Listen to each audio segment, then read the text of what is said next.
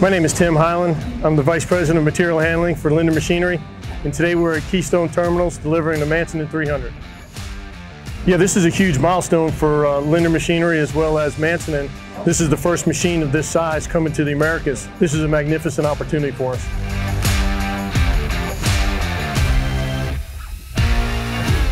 My name is Patrick Meyer. I'm the Trade Lane and Development Manager for UTC Overseas. Interesting fact here is that the crane is completely set together, put together. Generally, it would come in pieces, and uh, it would take about four weeks to put together, but they assembled everything over there, tested it, so now all we have to do tomorrow is put the clam on and uh, get it to work.